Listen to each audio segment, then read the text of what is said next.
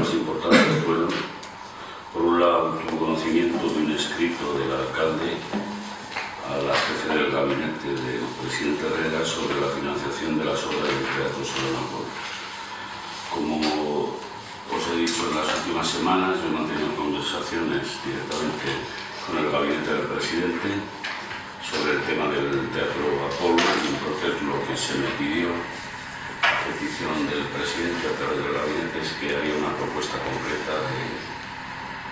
de financiación para el Apolo la propuesta se la ha hecho, tenéis ahí el cuadro, una vez que con el Ministerio de Vivienda ya hemos fijado el cuadro de anualidades y las aportaciones de cada uno de los, de los del ayuntamiento y del fomento, donde pone ayuntamiento es ayuntamiento más junta.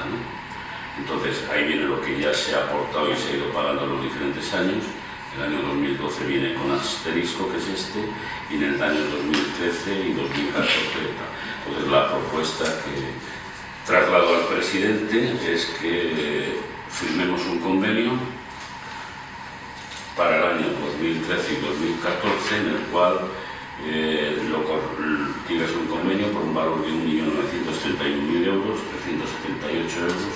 que es lo que eh, nos tiene que aportar del conjunto de la obra la Junta de Castilla en dos anualidades.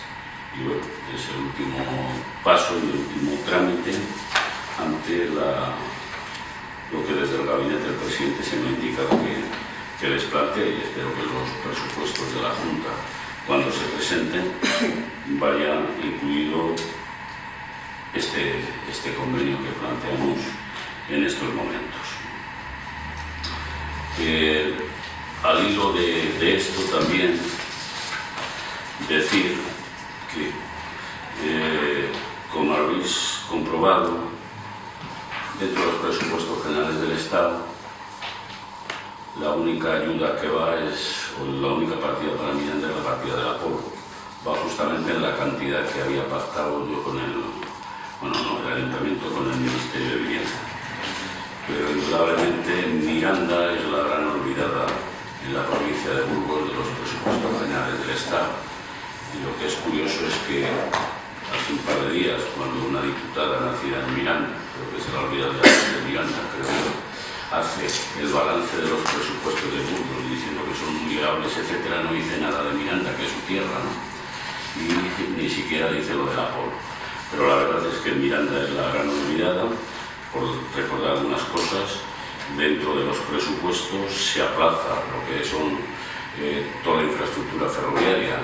entre Burgos y Miranda, que es clave para,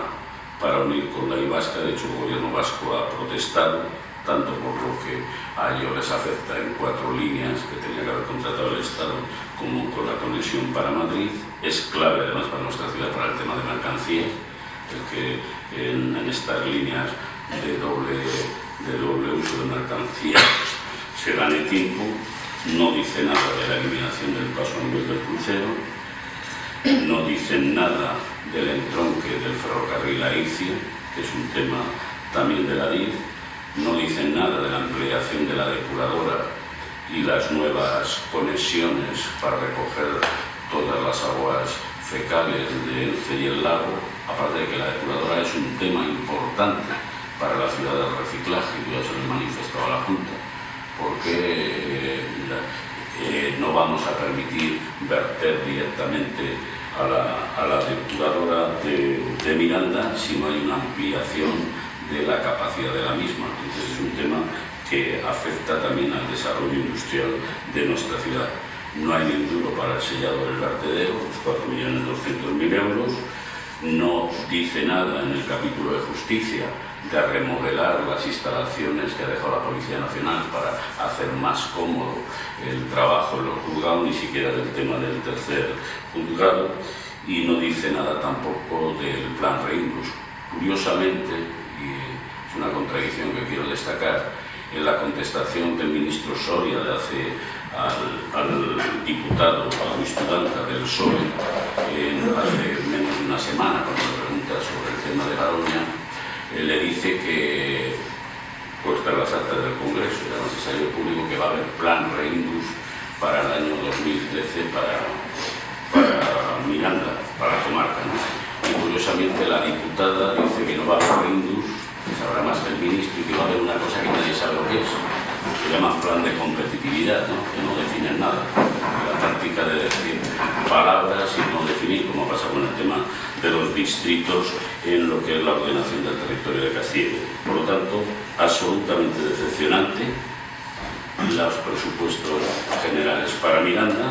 y somos la gran olvidada de la provincia. Espero que no sea por el color político. Bien, de la Junta de Gobierno, siguiendo con los temas, dos temas máis interesantes é xa dá unha licencia de rehabilitación completa do edificio.